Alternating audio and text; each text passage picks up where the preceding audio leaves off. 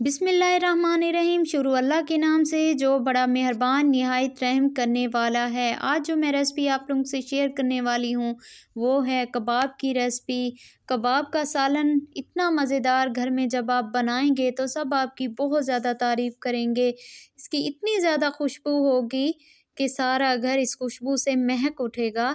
तो चलते हैं रेसिपी की तरफ़ और बनाना स्टार्ट करते हैं मज़ेदार कबाब का सालन।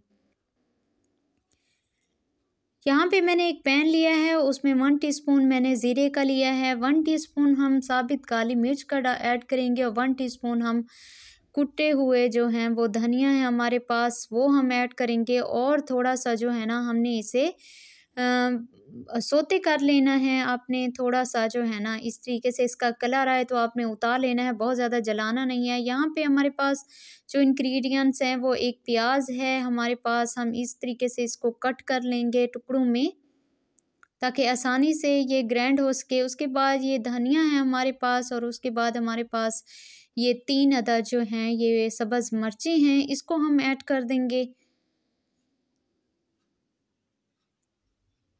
इसको हमने ग्राइंड कर लेना है अच्छे तरीके से।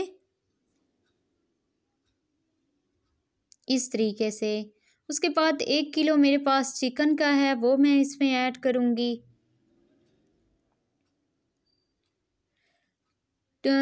तकरीबन दो से तीन चम्मच हमारे पास अदरक लहसुन का पेस्ट है, वो ऐड करूँगी। ये मिसाले हैं जो हमने सोते किए थे, वो ऐड करेंगे इसमें।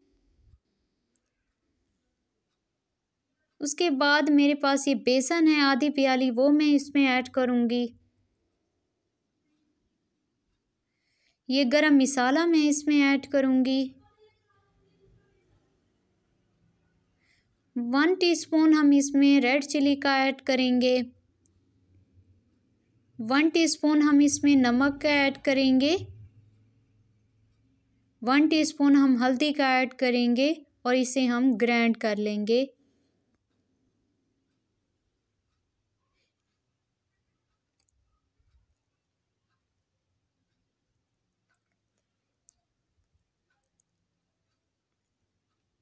ये देखें जी, ये हमारा कंप्लीट हो चुका है प्रोसेस अब हम इसे आधे घंटे के लिए ढाँप के रख देंगे।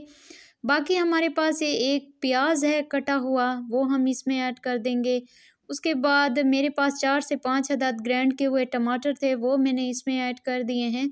उसके बाद अदरक लहसुन का पेस्ट है वन टीस्पून वो हमने ऐड किया है। टू टीस्पून गरम मसाला हमने ऐड किया है और टू से थ्री टीस्पून हमने इसमें पिसे हुए सूखे धनिया का ऐड कर दिया है। उसके बाद वन टीस्पून हल्दी का ऐड करेंगे। वन टीस्पून नमक का ऐड करेंगे। वन टीस्पून हम रेड चिली का ऐड करेंगे। और वन टी टू तकरीबन दो चम्मच मैंने इसमें रेड चिली के ऐड किए अब आधा घंटा हो चुका है तो एक एग इसमें ऐड कर दें। चाहें तो आप ना भी करें। तो हाथों को इस तरह गीला कर लें और हाथों पे आपने थोड़ा सा ये ले लेना है और इस तरीके से आपने इस पर बना लेना है।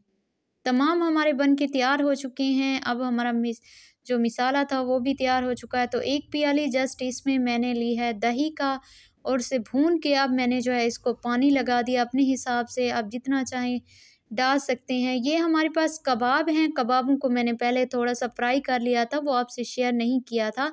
तो ये देखें जी, माशाल्लाह से बन के तैयार हो चुका है। कबाब का सालन खुशबू बहुत ही खूबसूरत आ रही है, माशाल्लाह से। आप इसमें कम या ज़्यादा मिसालों की क्वांटिटी आप अपने हिसाब से ऐड कर सकते हैं।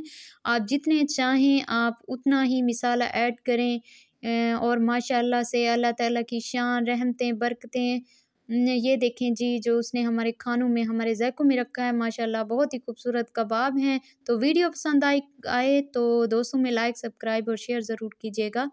तो तब तक इंशाल्लाह फिर नई रेसिपी के साथ हाजिर होंगी। तो